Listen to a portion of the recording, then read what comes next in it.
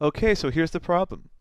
We have f of x given by piecing these three functions together, and the question is, if you read this, is finding all points of discontinuity of f of x and classify the discontinuity as removable, jump, or infinite. So the first thing is, we have here two quadratic polynomials, x squared plus 8x plus 15, x squared minus 4. So right away, before we even look at discontinuities, let's factor everything. So the first piece of our function is x plus 5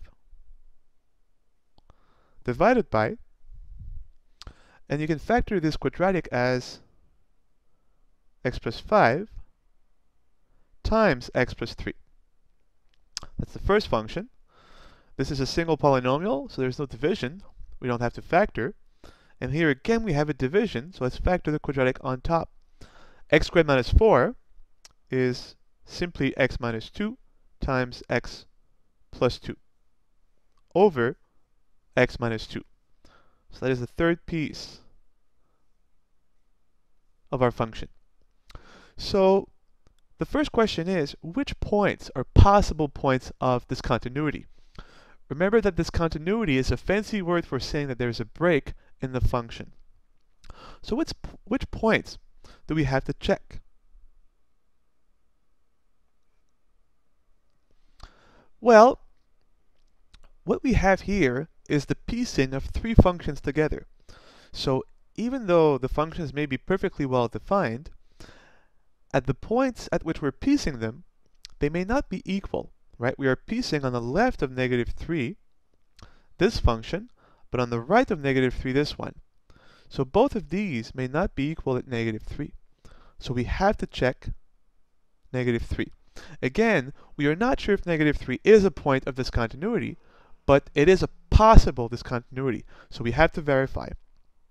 x equals 2 also is a possible point of discontinuity. On the left of 2, we are using this function. On the right, we're using this function. So we're gluing two functions at 2. Well, again, they may not be equal. So we have to also check the second gluing point, which is x equals 2. What else do we have to check? Well, functions could have problems of their own. So let's see what could go wrong here with the first piece of the function. We have a ratio of two polynomials, so you can always compute x plus 5, so there's no problem there. And you can always compute x squared plus 8x plus 15. But there is a possible problem here. Since we have a division, we cannot divide by 0. So here, when x is negative 5, we have a division by 0. So that's again a possible discontinuity. We have to check x equals negative 5. x equals negative 3 will make x plus 3 equal to 0. So negative 3 is a point that we have to check, but it's already in our list. So that's okay. The second piece of our function is 1 minus x squared. That's a polynomial. For any given value of x, you can always compute 1 minus x squared. So there's no possible discontinuity arising from this function. Finally, the third function, which factors as x minus 2 times x plus 2 over x minus 2. Again, both the top and bottom are always fine, but since we have a division, we have to be wary of dividing by 0, which happens when x is 2. So we have to check whether or not 2 is a point of discontinuity, but 2 is already in our list. And that's it. We have an exhaustive list here of possible points of discontinuity. So these are the possible x values. So now, well, let's check each one. So let's start with x equals negative 3. And that's really the easy part because you always look at the value of the function at the point of interest and then the limit of the function at that very same point. So we ask, what's the value of f when x is negative 3? Well, let's look at our function. If x is greater than or equal to negative 3, f of x is 1 minus x squared. So we'll have here 1 minus the value of x, which is negative 3, squared. So we have 1 minus 9, and that's negative 8. So the value of the function exists at x equals negative 3, and the value is simply negative 8. Now we look at the limit. If you notice though, if we are on the left of negative 3, we use this piece of the function. If we are on the right of negative 3, we use this piece of the function. So here, we have to look at the limit from the left and the limit from the right. So let's write that down. So limit, as x approaches 3 from the left, and limit, as x approaches 3, negative 3, sorry, negative 3 from the right. Well, let's see.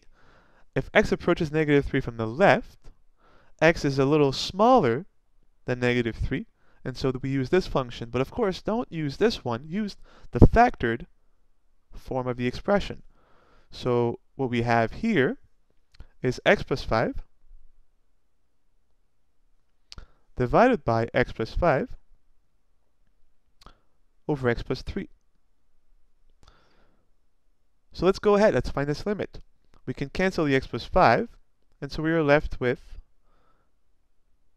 x approaching negative 3 from the left a single 1 over x plus 3. So, what's our case?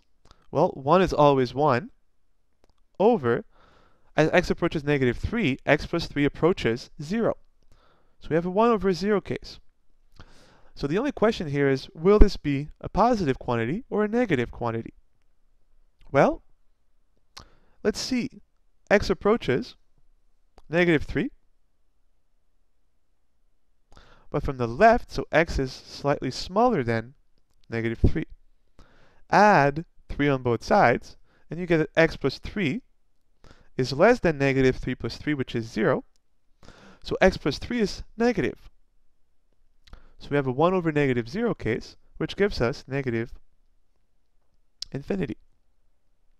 So right away here, we could avoid this limit because as we approach negative 3 from the left, the function blows up to negative infinity.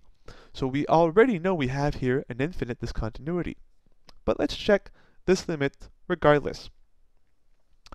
When x approaches negative 3 now from the right, the function is 1 minus x squared. So we have here 1 minus x squared. As x approaches negative 3, we get negative 3 squared, which is 9, so it's 1 minus 9, and we get negative 8. So we have the value of the function exists, is negative 8. The limit from the right of negative 3 is negative 8. The only problem is the limit from the left of negative 3 is negative infinity. So we have here that x equals negative 3 is an infinite discontinuity.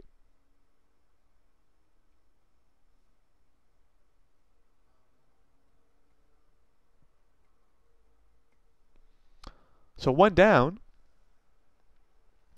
two more to go. Let's now check x equals 2. So let's move up, and let's see. So at x equals 2, we are looking at the value of f at 2. Well, let's go up. When x is less than or equal to 2, the function is 1 minus x squared. So we have 1 minus 2 squared, 1 minus 4, and that's 3. so the function exists at 2, and the value is simply negative 3. As before, we look at the limit of f of x as x approaches 2. But if we go back up, once again we have to look at the limit from the left and from the right. You see from the left, when x is less than 2, the function is this one. But from the right, when x is bigger than 2, the function is this one. So once again here, we have no choice. We have to look at the limit as x approaches 2 from the right-hand side, and the limit as x approaches 2 from the left. Well, let's go back up. From the right, when x is bigger than 2, the function is equal to that. But again, we use the factored expression, so all we have is from the right x minus 2 times x plus 2 divided by x minus 2. from the left, when x approaches 2 from the left, x is smaller than 2, so the function is 1 minus x squared. Now we have our two functions, let's find the limit in each case. So we're letting first here x approach 2 from the right. As x approaches 2, x is close to 2 but not exactly 2, so x minus 2 is not 0. We can cancel. And we're left with x plus 2. And as x approaches 2, this approaches 4. The second limit, well, as x approaches 2, x squared approaches 4, so 1 minus 4, and we get negative 3. So what's happening here? Well, the value of the function exists at x equals 2, and the y value is negative 3. The limit from the right exists and equals 4. The limit from the left exists and equals negative 3. Hmm. So visualize what you have here. We are approaching x equals 2. Now the value at x equals 2 is exactly negative 3. So say it's here. So negative 3. As we approach 2 from the right, so when x is a little bigger than 2, y is really, really close to 4. So the y value is around 4 on the right. But now on the left, when x is less than 2, the y value is really, really close to 3. So when x is a little smaller than 2, the y value is really, really close to negative 3. So you see that as we go from the left-hand side of 2 to the right-hand side, there is a jump in the function. So our conclusion is x equals 2 is a jump discontinuity.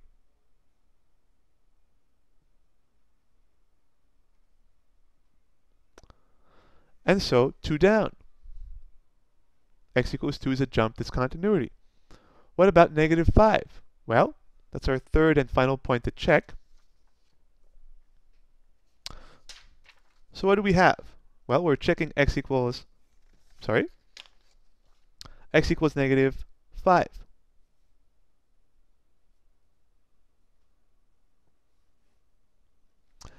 As before, we'll look at first the value of f at negative 5. If we go back, when x is less than negative 3, this is our function.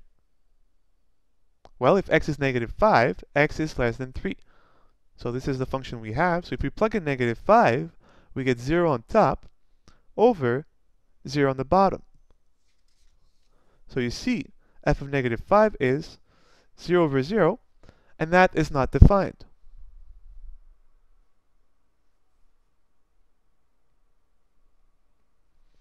So the value of the function at negative 5 does not exist.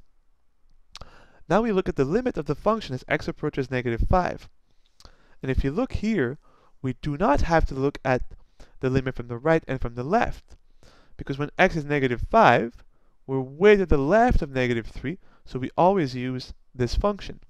So we do not have to look at the limit from the left and from the right here.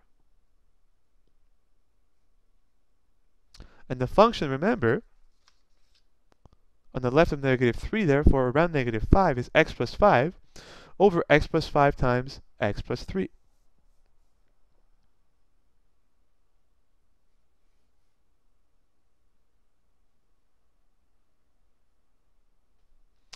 Well, we know we have a 0 over 0 case, right? As x approaches negative 5, x plus 5 approaches 0 on top and on the bottom. But this is quite easy as we have already factored. We can cancel the x plus 5 on top and on the bottom, and we're left with a very simple limit. As x approaches negative 5, what happens to 1 over x plus 3? Well, x plus 3 approaches negative 2, and so we're left with 1 over negative 2, which is simply negative 1 half. So again, visualize the situation here around the point negative 5,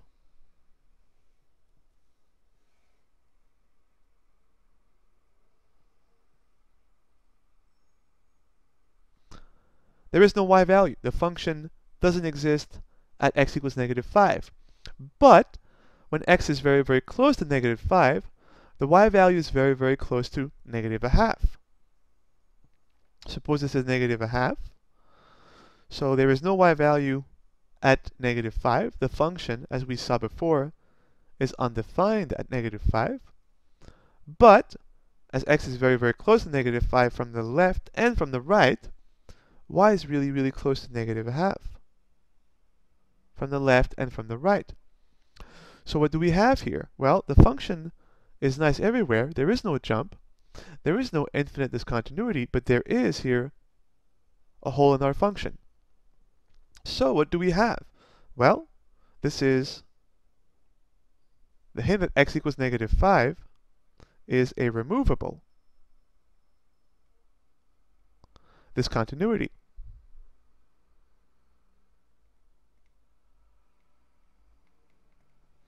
And again, why do we use the term removable?